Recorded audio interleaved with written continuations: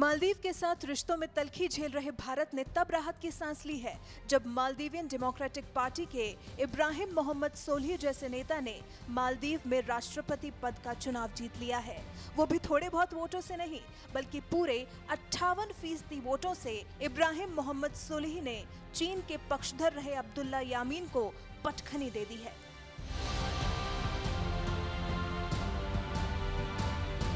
इब्राहिम मोहम्मद सोलह का जन्म हिन्नावारू द्वीप पर हुआ था, लेकिन पढ़ाई के लिए बहुत छोटी सी उम्र में ही सोलही मालदीव की राजधानी मेल चले गए थे।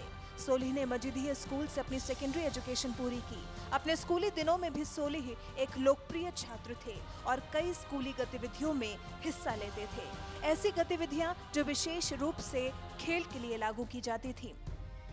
सोहली तेरह भाई बहनों में एक थे।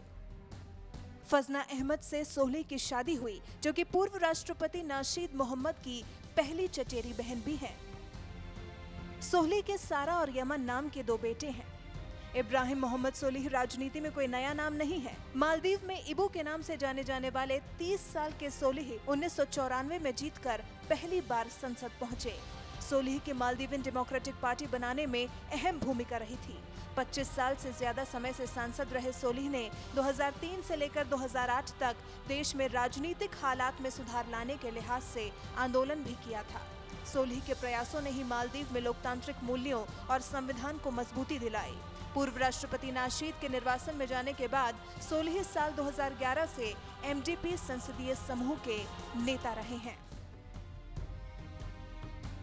पूर्व राष्ट्रपति नाशीद मोहम्मद के इब्राहिम मोहम्मद सुलीह काफ़ी नज़दीक माने जाते हैं।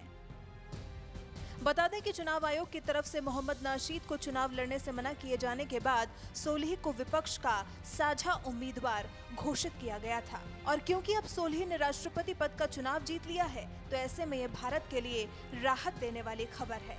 अब भारत मालदीव से अपने रिश्ते सुधारने की तरफ़ काम कर सकता है।